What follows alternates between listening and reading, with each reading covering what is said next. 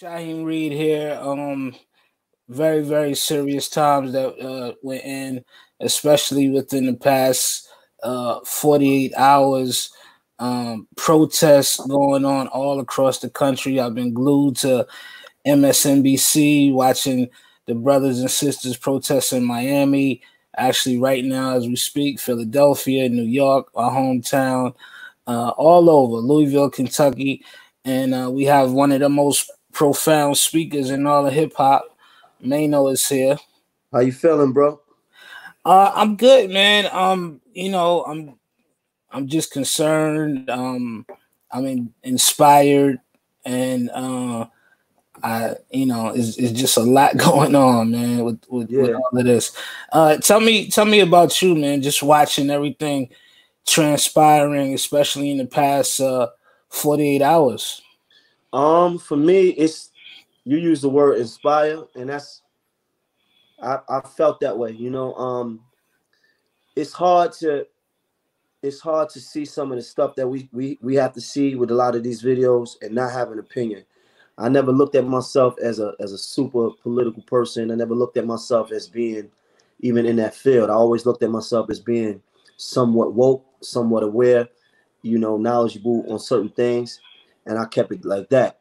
But it's hard to come on social media and and, and about you know nothing when when a lot is going on. Like I woke up that morning and saw that video, which I didn't even realize was I, I, when I first looked at it, I didn't know it was a new video, and then it, it and, and, it came out that it was new, and then you Me know too. it's that Me too. right you, because you, so much stuff comes out. It's just like what is this an old video? Like you don't know, and for me, it was just like, damn, like it's hard. Like as an artist, like you you always want to try to maintain the line between real life and being and being, you know, creative. But from it's like, how could I go downstairs and record with this on my mind and not be able to express myself on how I really feel because it's hard not to. It's hard to get on social media. It's hard to have a conversation. It's hard to to to you know um, um, speak to your friends and not and it not come up because it, it affects you. It, it, it, being a young black male and raising our young black males is like it's just it's just a lot, bro. But seeing what's going on, I I am inspired. It makes you want to do more. Um, I'm I'm trying to put together some things on, on my side that that uh lend lend some help to, to the cause. You know, I've been I've been inspired to do things that I've never thought I would ever do before. Honestly. Yeah, well, you you hit you hit me on the DM the other day, man, and you're one of the first artists to actually respond with your specialty, man, music. Right. You know, right. one one one of the things that um I always say to my friends that's artists, man, is that you know sometimes they don't know how to react when things like this happen, man. And I'm like, yo, you got to put some of that pain down. Put that pain, right? It's hard not to. yeah, yeah. Not how could we not? Yeah, we not? We I couldn't. We couldn't. We couldn't see that. I, that happened on what Monday. I made I made that song on Tuesday, right? And it's like, how could I not? I can't come down here and talk about being in the club. I can't come down here and talk about a girl right now because this is this is it just eats at your at your soul, it just eats at your spirit, knowing that this could be anybody. This could be your friend, this could be your nephew, it could be your uncle, it could even be you. It could be me. Yeah, I mean, you know, you, you said when you first saw the footage, and we're talking about for the people watching this, we're talking about George Floyd. He was killed on Memorial Day in uh, Minneapolis, Minnesota. He was stopped by the police. I'm sure everybody has seen the footage, uh, horrific footage at that, of the officers not just detaining him, um, not just holding him down, but they had his, their knees in his back, and one of the officers had then had his knee on his neck. George pled for his life, man. We literally watched somebody plead for their life and die. He couldn't. He could not breathe. Right. Right. Now you know you playing with your homie and you, you grabbing yo, yo, I can't breathe, chill out. Like that's just like human instinct. If somebody's telling you that they can't breathe, you let up. Yeah. And the, the, what's so disrespectful is that they already had him. It was already four police on him. He already handcuffed to his back, laying on his stomach. Right? What what what are we doing? What are we doing? Like, if that's not a blatant a, a blatant display of overzealous, over aggressive, total disregard of of black life, let alone of a human life, I don't know what else is. Like, what else you need to see? Because the, the people, the, that girl was 17 years old saying, What are you doing? He, he, he can't breathe. He's he's gonna you're gonna kill that man. You you hear sensible people, but yet you still you still right there. You got your hand in your pocket, which to me looks like that's a that's a way of putting more pressure. And if you look closely, he he urinated on himself. That's that look like you that that that that leakage over there looks like urination to me under yeah. the under the truck. I can't see it at this angle. When he when he pans over, you can see it. Right.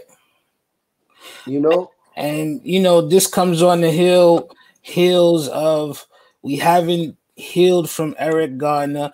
We haven't nah. healed from Trayvon nah. Martin. This generations, bro. This is, this is this is centuries, bro. We just like come on, like let's it's it's it's so many examples of this.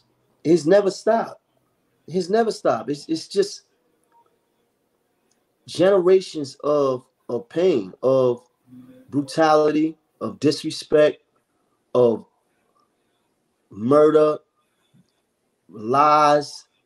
And the system has never been set up for us to get the, the type of justice that we that we always deserve. We watched them kill Eric Garner in this almost the same way. I can't breathe. I yeah. can't breathe. That's some that's some human shit. I can't breathe. So if your job is to is to be a police officer, your job is to if I did something wrong, take me to jail. Your job is not to kill me. Your job is not to hurt me. Right. Your job is not to hurt me physically. Why why is it that you're trying to hurt me physically? And to, to top it off, man, we still don't have concrete evidence of what George did in the first place. I don't care what he did, bro. Right. What right. he did don't even matter. Because your job is not to be judge, jury, and executioner. It don't matter what he do. You see, when, when people start talking about, oh, he did this, it don't even matter. I don't care if he was leaving the scene and he just robbed the bank and, and smacked the pistol over the teller head. Like that's one ain't got nothing to do with it. You do crime, you go to prison. Like that's that's it's like checks and balances. I got my job. I'm I'm the fucking criminal. You the you the you the, you the, you the uh you the policeman. If you catch me, take me to prison. You hurting me and killing me is a whole nother ball game. Yeah. So it doesn't. So for me, it doesn't matter what he did. Like they saying it was a alleged fraud check, which makes it like, come on, man. Yeah. Let it just go to show you, bro. It just go to show you they disregard how they really, really feel about us. I mean, man, when I when I looked at the the officer's eyes, man, yes. I I literally did not see a soul. There you go. Like he's looking like so out of it at the same time that the people are talking to him. And then the officers that was with him, it's just like, do you do no is nobody thinks this wrong? Like no, the man is saying it's one thing if he wasn't saying nothing. Let's let's just give it the benefit of the doubt. If he wasn't saying nothing, the man is saying, My stomach, I, I can't breathe. I can't breathe. Please, I can't breathe. You're supposed to have some type of compassion, not just as a police officer, but as, as a human being. As a human being, man. Um, we we've seen this time and time again, unfortunately, man. But this one, these these protests are, are feeling a little bit different, man. Yeah, people tired, bro. They tired. They tired.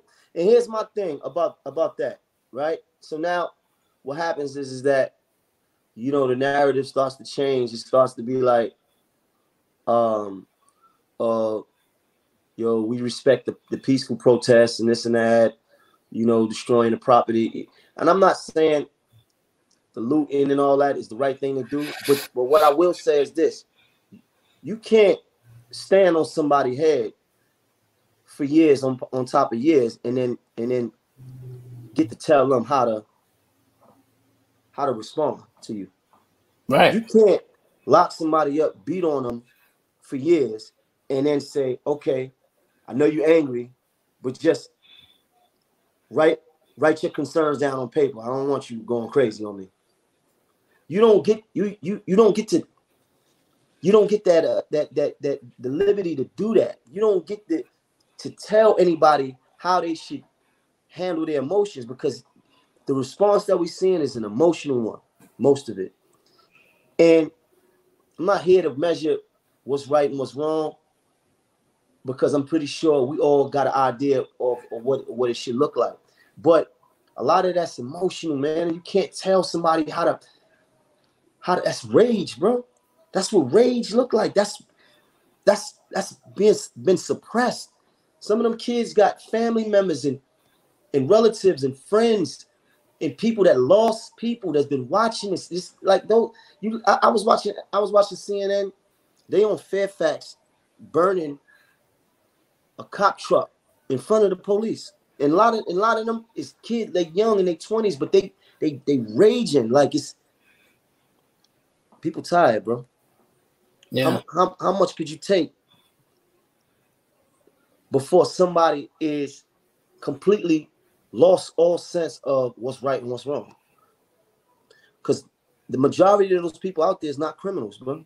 They're not criminals. Yeah. Those are reg- those are those are citizens. Those are the citizens that's that's tired, tired of the systemic, racist, brutal nonsense, man. Yeah. But then also, oh, they, they said uh your head is getting cut off a little bit by the camera. Yeah, that's perfect.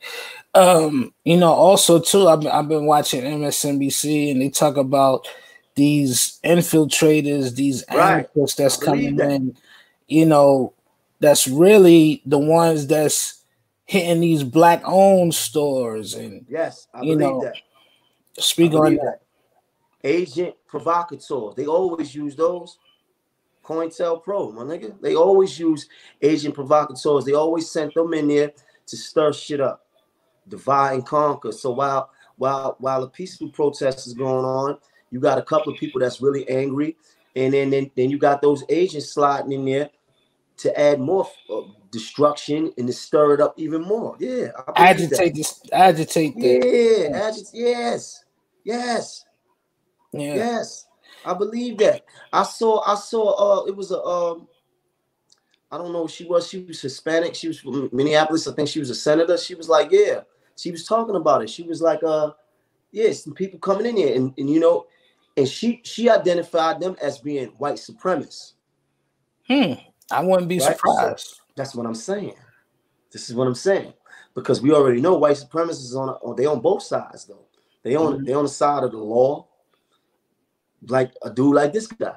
Who's to say that his his friends is not white supremacists? Yeah, we can't tell. One, one- one of the things that's that's crazy though too is that um th- they was breaking down when when the when the police station in Minnesota uh got burned down. They said that it was it wasn't like somebody just walked up to the police station and in a fit of rage just threw like a Molotov cocktail and something like that. They said it was very professional Right. how they how they set those fires. It was very strategic where they actually set it on fire. I believe it, bro. They they supposedly identified one of them. I seen I some footage, I seen some pictures, and even a lady was saying that they have pictures, they have identified some people as being some some some agents, some being some some agitators, you know, some you know, some people that's been injected, whether they're uh, on law enforcement, if they're part of law enforcement or they're part of just you know white supremacist taking the opportunity to try to make this bigger so it can be more of a war and divide it even more. Um, yeah, I believe it.